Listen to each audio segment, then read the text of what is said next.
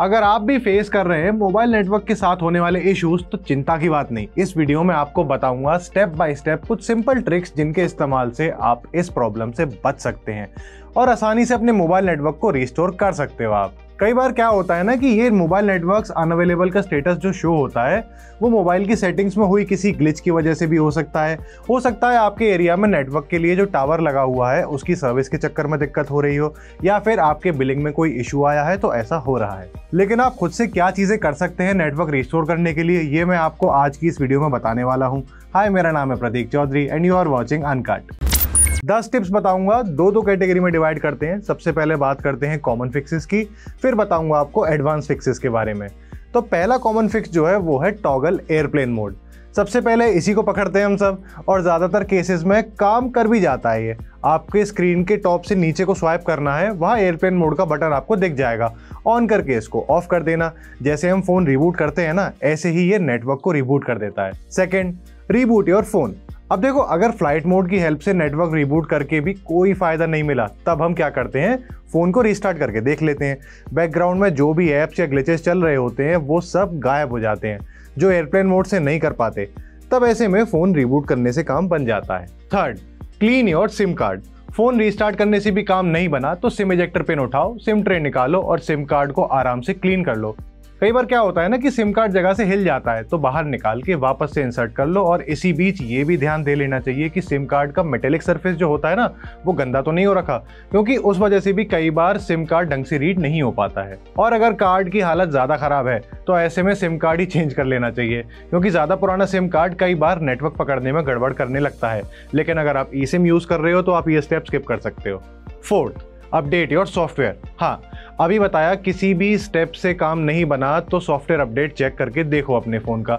बहुत चीज़ें ठीक कर देता है ये। सेटिंग्स में जाके देखो अवेलेबल है अपडेट अगर तो डाउनलोड करके इंस्टॉल कर लो उसको। ऑल्सो मोबाइल नेटवर्क जब नहीं मिल रहे हैं तो वाईफाई या किसी का हॉटस्पॉट प्रेफर करके डाउनलोड करना। सेल्फ अंडरस्टूड है बट फिर भी लोग कमेंट्स में लिख देते हैं कि नेटवर्क नहीं आ रहा है तो डाउनलोड कैसे करें? तो मैंने बता दिया, ऐसे कर लेना। Move to a different spot कई बार होता है कि हम किसी ऐसी जगह पर होते हैं जहाँ कोई हैवी वॉल या फिर कोई थिक मेटल शीट एक बैरियर का काम करती है नेटवर्क के लिए। और तब हम फेस करते हैं नेटवर्क इश्यूज़ जैसे कि हमारे इंटरनेट स्पीड का स्लो हो जाना और कॉल्स पर काफ़ी ख़राब क्वालिटी एक्सपीरियंस करना। तब ऐसे में थोड़ा अपना स्पॉट चेंज करके देख लेना चाहिए। एक स्पॉट सेट के दूसरे स्पॉट पर जाके देखो नेटवर्क सही हो जाता है।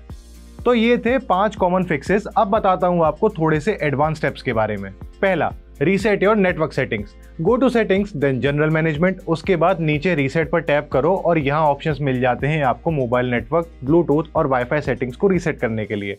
हाँ लेकिन जो पासवर्ड्स आपने नेटवर्क्स को सेव कर रखे हैं, वो गायब हो जाएँगे यहाँ से। तो उनका थोड़ा ध्यान देना पड़ेगा आपको। Second switch mobile network operators अब जैसे तो हमारा फ़ोन अपने आप डिटेक्ट करके सूटेबल नेटवर्क पकड़ लेता है, लेकिन कई बार कुछ गड़बड़ हो जाती है यहाँ पर ग्लिच के चलते।